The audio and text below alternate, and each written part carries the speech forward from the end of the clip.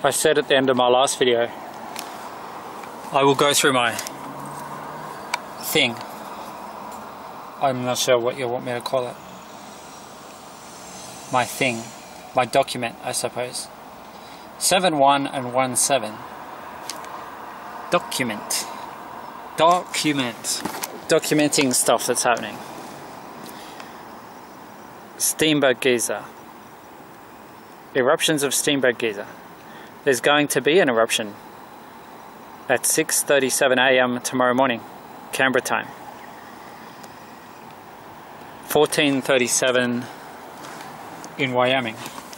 And I said I'm going to go through my document. My DJ document. DJ Ming. No, it's not Lorenzo. Lorenzo is not the bad one. Anyway, Lorenzo is a fighter, a survivor, as a storm in the Atlantic in 2019. He's a survivor, a fighter.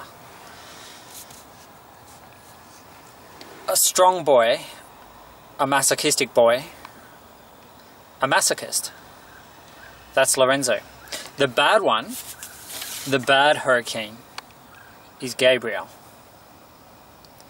Gabrielle's the sadist, and I don't mean that in a good way. Like, I don't mean kinky.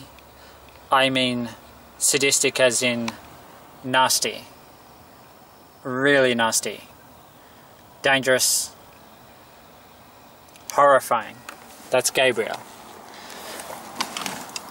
So that's where my car is up to. 17 is part of this.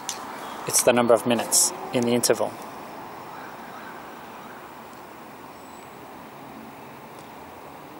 The next eruption of Steamboat Geyser